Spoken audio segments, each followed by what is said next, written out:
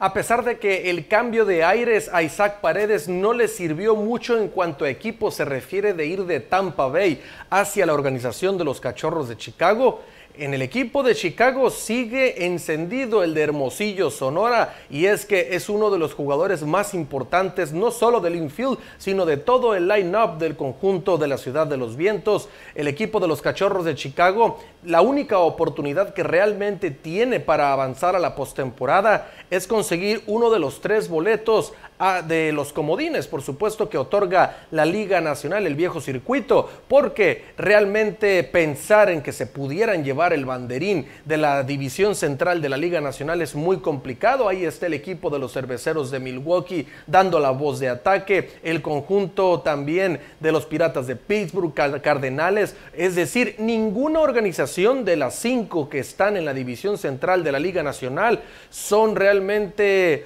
un equipo eh, endeble en estos momentos. Todos están peleando, intentando meterse a la postemporada. Y trajeron a Isaac Paredes los cachorros con toda la firme intención de meterse por un boleto a la postemporada, a esa lucha, esa terna. Pero vamos a ver si Isaac Paredes logra meter a su equipo con esos batazos que ya empezaron a volar en el Greeley Field, la casa de los cachorros de Chicago, y en otras plazas donde se presenta el conjunto de la ciudad de los vientos más bien del norte de la ciudad, porque en el sur están los medias blancas. Así es de que Isaac Paredes está haciendo lo que quería el equipo de los cachorros, pero parece que por el momento no le está alcanzando al equipo de los cachorros.